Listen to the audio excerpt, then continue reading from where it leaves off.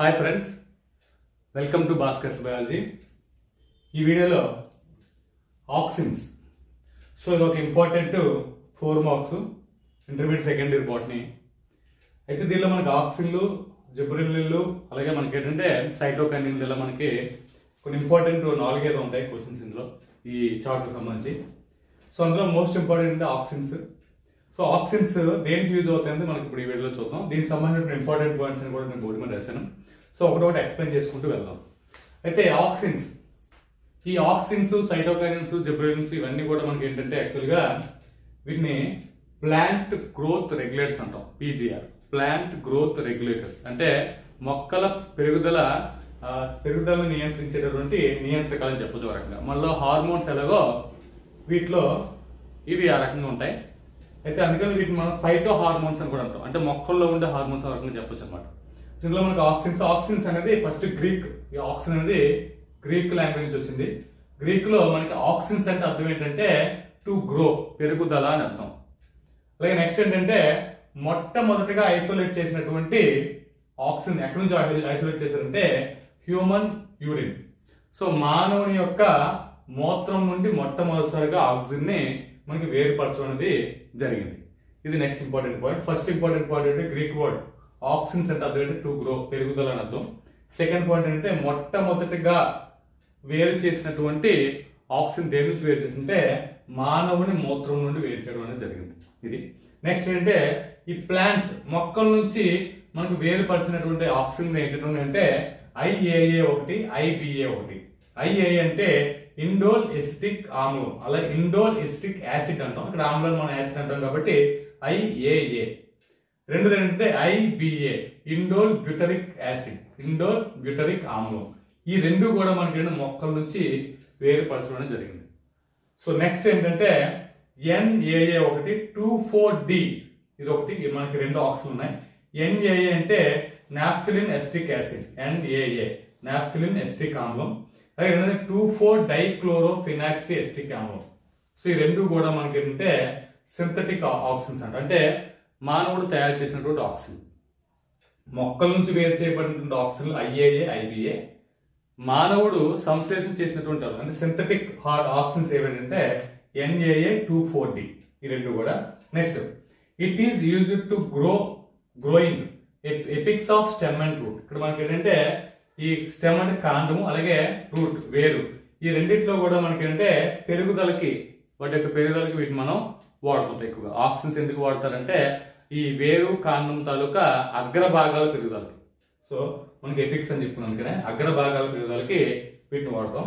అలాగే నెక్స్ట్ ఏంటంటే ఈ ఆక్సిన్స్ ప్రెసెంట్ దేనికి ఎక్కువ? అంటే ఇలా మనకి సింథటిక్ సింథటిక్ హార్మోన్స్ కొన్ని ఉన్నాయి. అలాగే మనకి ప్లాంట్స్ ప్రొడ్యూస్ చేసిన అలాగే యానిమల్స్ ప్రొడ్యూస్ చేసిన ఆక్సిన్స్ ఉన్నాయి. వీటిని మనం ఎక్కువగా దేనికి వాడుతాం అంటే అగ్రికల్చరల్ అండ్ హార్టికల్చరల్ ప్రాక్టీసెస్కి ఎక్కువ వాడతాం మనం. వీటిని వ్యవసాయ ఉద్యానవన కృషిలో విరివిగా ఉపయోగిస్తున్నారు. సో వ్యవసాయం అంటే అగ్రికల్చర్లో వాడుతున్నాం అలాగే ఉద్యానవనాలు సో వాటిలో కూడా మనకి ఏంటంటే హార్టికల్చర్ అంటే ఫ్రూట్స్ ఫ్లవర్స్ సంబంధించినటువంటి వాటి మనం హార్టికల్చర్లో చెప్తాం. సో హార్టికల్చర్ ఫ్రూట్స్ ఫ్లవర్స్ ఎలాగ మనకి ఎక్కువ ప్రొడ్యూస్ చేయాలి? బిగ్ సైజ్ ఫ్లవర్స్ని బిగ్ సైజ్ ఫ్రూట్స్ని ఎలా ప్రొడ్యూస్ చేయాలి అని కూడా మనకి ఎక్కువగా ఈ ఆక్సిజన్ ద్వారా మనకి జరుగుతుంది. ఇది మనకి ఆక్సిజన్ ద్వారా introduction so Greek world to grow అని అర్థం. ఫస్ట్ ఐసోలేట్ అంటే హ్యూమన్ యూరిన్ నుంచి. అలాగే ప్లాంట్స్ ప్రొడ్యూస్ అయినటువంటి ఐసోలేట్ చేసినటువంటి ఆక్సిజన్స్ ఏంటంటే ఐఏ ఒకటి ఐబిఏ ఒకటి. అలాగే సింథటిక్ ఆప్షన్స్ ఏంటంటే ఎన్ఏఏ టూ ఫోర్ డి ఒకటి. వీటిని ఎక్కువ మనకి ఏంటంటే స్టెమ్ రూట్ ఎపిక్స్ తాలూకా గ్రోయింగ్ ఎక్కువ వాడతాం. నెక్స్ట్ అంటే ఆప్షన్స్ దేనికి యూజ్ యూజ్ అవుతుందంటే అగ్రికల్చర్ హార్టికల్చర్ ప్రాక్టీస్కి ఎక్కువ వాడతాం. అంటే గ్రీక్ వర్డ్లో ఆప్షన్స్ అంటే పెరుగుదల అర్థం. ఆ మొట్టమొదటి ఆక్సిజన్ మొట్టమొదటిగా మానవుని మొత్తం నుంచి వేరు చేశారు. ఇండోర్ ఎస్టీ కామము ఇండోర్ బిటరీ కామం రెండు కూడా మొక్క నుంచి ఐసోలేట్ అంటే మొక్క నుంచి వీళ్ళు తీయడం జరిగింది. అలాగే సంశ్లేషిత ఆక్సిజన్ ఏంటి ఉన్నాయంటే ఎన్ఏ నాఫ్థలిన్ ఎస్టిక్ ఆమ్లం ఒకటి టూ ఫోర్ డైక్లోరోఫినాక్స్ ఎస్టీ కామ్ ఒకటి ఈ రెండు. సో ఇవి ఎక్కువ మనకి వేరు కాండం తాలూకా కొనలు పెరుగుదలకు ఎక్కువ వాడతారు. వీటిని వ్యవసాయ ఉద్యోగం కృషిలో ఎక్కువ ఉపయోగిస్తున్నారు. ఇది ఇంట్రడక్షన్. సో దీన్ని మనకి ఎక్కువ దేనికి యూజ్ అవుతుంది ఎలా ఎలా వాడుతున్నారు? వీటిని అనేది ఎక్కువ చూద్దాం మనం. ఇందులో మనకి ఫస్ట్ పాయింట్ చూడండి. Initiate rooting in stem cuttings అంటే కాండ చేదాలు ఏవైతే మనకి స్టెమ్ కట్ చేసాం ఈ స్టెమ్ కట్ చేసిన తర్వాత అంటే ఫర్ ఎగ్జాంపుల్ ఇది ఒక స్టెమ్ ఈ స్టమ్ ఈ స్టెమ్ మనకి కట్ చేసి వీటిని దీన్ని మనం వేరే దగ్గర రూటింగ్ చేయాలి. దీన్ని వేరే దగ్గర మనకి ప్లాంటింగ్ చేయాలి. ఈ వీటిని ఏం చేస్తారంటే ఎటైతే మనం భూమిలో వచ్చుతామో సో అటువైపు మనం ఏమవుతుందంటే ఆక్సిన్స్ని ఇక్కడ స్ప్రే అంటే యూజ్ చేయడం వల్ల మనకి ఏంటంటే ఈ కాండ చేరాలి. అంటే కాండం ముక్క నుంచే మనకి ఏమవుతుంది? ఇక్కడ వేర్లు అనేవి ప్రొడ్యూస్ అవుతాయి. అందుకని మనకి కాండ ఛేదాల నుండి వేర్లు ఏర్పరచడానికి ఉపయోగిస్తుంది ఇది ఫస్ట్ పాయింట్ గుర్తుపెట్టుకోండి. Initiate rooting in stem cuttings. Second point వచ్చేసరికి అంటే ప్రమోట్ ఫ్లోరింగ్. అంటే ఫ్లోరింగ్ అంటే పుష్పోత్పత్తి. అంటే పైనాపిల్ వాటిలో మనకి ఎంత ఎగ్జాంపుల్ పైనాపిల్ ఇచ్చాం? అనాస. సో అనాసలో మనకి ఏమవుతుందంటే వీటిని స్ప్రే చేయడం తొందరగా అంటే తక్కువ టైంలో మనకి ఏంటంటే ఫ్లవర్స్ అనేవి ప్రొడ్యూస్ అవుతాయి. సో మనకి తక్కువ టైంలో ఫ్లవర్స్ ప్రొడ్యూస్ అవడానికి అంటే పుష్పోత్పత్తిని ప్రేరేపించడానికి కూడా మనకి ఈ ఆక్సిన్స్ని వాడతాం. Next prevent fruit leaf drop at early stage అంటే పత్రాలు ఫలాలు ప్రాథమ ప్రథమ దశలో. ప్రథమ దశలో అంటే ల్యాబ్ దశలో. సో ల్యాబ్ దశలో పత్రాలు ఫలాలు మనకు రాలిపోయింది అనుకోండి మనకి దిగుబడి తగ్గిపోద్ది. వ్యవసాయ పరంగా కావచ్చు ఫ్లవర్ ఇది లీఫ్ ఎప్పుడైతే లేవో అప్పుడు ఎవరిని ఫోటోస్ సరిగ్గా జరగదు సో ప్లాంట్ గ్రోత్ సరిగ్గా ఉండదు. సో కాబట్టి ఏమవుతుందంటే ఈ ఇనిషియల్ స్టేజ్ ఎక్కువ మనకి ఈ ఈ డ్రాప్ అంటే ఫ్లవర్స్ అలా అదే విధంగా సారీ లీఫ్ అదే విధంగా ఈ ఫ్రూట్స్ తరగతి డ్రాపింగ్ ఎక్కువ ఉన్నప్పుడు దీన్ని మనం స్ప్రే చేయడం ఏమవుతుందంటే వీటిని వాడడం వల్ల ఏమవుతుందంటే అవి డ్రాప్ అవడం అనేది తగ్గుతుంది. అందుకని మనకి అంటే పత్రాలు ఫలాలు ప్రథమ దశలో రాలిపోకుండా నిరోధిస్తుంది. అలాగే at the same time reverse function కూడా చేస్తుంది. రివర్స్ ఫంక్షన్ ఏంటంటే పరిపక్వం చెందిన పత్రాలు ఫలాలు రాలిపోయేటట్లు కూడా చేస్తుంది. సో మనకి ఇనిషియల్ స్టేజ్లో రాలిపోకుండా మనకి చేస్తుంది. అలాగే మనకి ఏంటంటే పరిపక్వం. అంటే మనకి యాప్సిస్ అంటాం. అంటే ప- పరిపక్వం చెందింది. ఫర్ ఎగ్జాంపుల్ లీఫ్ ఉంది. లీఫ్ పరిపక్వం చెందిందంటే గ్రీన్ కలర్ కాస్త మనకి ఎల్లో కలర్ మారిపోతుంది. సో దానిలో మనకి క్లోరోఫిల్ ఉండదు. కూడా జరగదు. సో అది ఉన్నా సరే న్యూట్రిషన్ న్యూట్రిషన్ తీసుకోవడం వల్ల ప్లాంట్కి ఎటువంటి ఎటువంటి అడ్వాంటేజ్ ఉండదు. అలాగే మనకి ఏంటంటే ఒక రకంగా వ్యవసాయంలో కూడా దానికి ఉపయోగం ఉండదు కాబట్టి సో అటువంటి వాటిని రాలిపోలే చేస్తుంది. ఏవైతే మనకి పండిపోయిన పళ్ళు అలా మనకి ఉండడం అనేది వేస్ట్ అవుతుంది అలాగే మనకి ఏంటంటే పరిపక్వం చెందిన పత్రాలని ఫలాలని రాలిపోయేటట్లు చేయడానికి కూడా ఇదే వాడతాం. రెండు చూడండి ఆపోజిట్ ఫంక్షన్స్ అలాగే నెక్స్ట్ అంటే ప్రమోట్ ఎపికల్ డామినెన్సీ మనకి అగ్రాధిక్యత అంటాం. అగ్రాధిక్యత అంటే మనకి ఏంటంటే మనకి ప్లాంట్లో ప్లాంట్లో ఈ పైన ఒక ఎపికల్ బర్డ్ ఉంటుంది. అలాగే వీటికి మనం ఇక్కడ కూడా లాటరల్ బర్డ్స్ ఉంటాయి. ఈ దేనికి?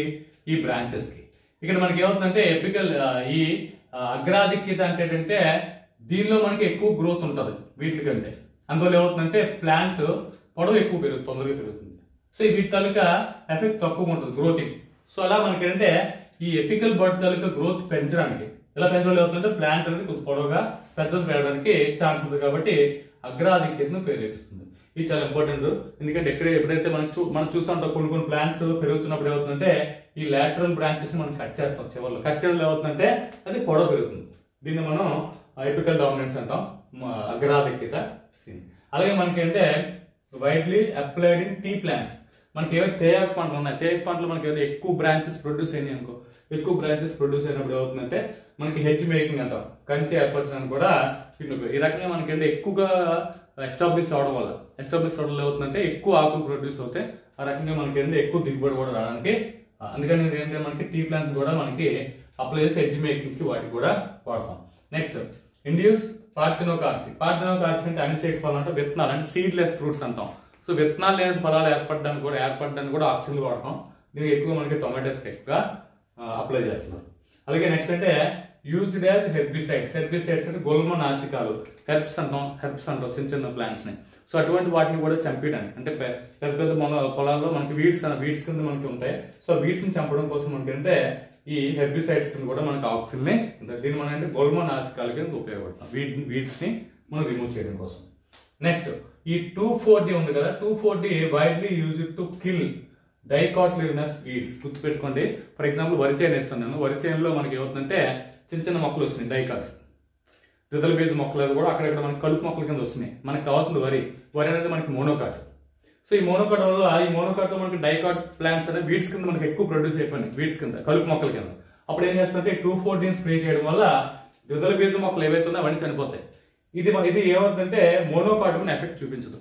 అంటే యాక్బల్ బీజాల మీద ఎటువంటి ప్రభావం చూపింది కాబట్టి వరి చేయడానికి ఎటువంటి ప్రాబ్లం ఉండదు. కానీ వరిచేలో ఉన్న ద్వితల బీజ మొక్కలు అవి కూడా అక్కడ చనిపోయి ఆ రకంగా మనకంటే ఈ వీడ్ ఏదైతే ఉందో డైకాటిన్ వీడియోస్ ఉన్నాయి ఇవన్నీ కూడా చనిపోతాయి. అందుకే ద్విదల బీజ కలుపు మొక్కల నాశకాన్ని కూడా దీన్ని మనం ఎక్కువ వాడతాం. ఈ రకంగా మనకి ఏంటంటే ఆక్సిన్స్ అనేవి యూజ్ చేయడం అనేది జరుగుతుంది. దీనిలో అంటే మనకి agriculture and horticulture practices thank you very much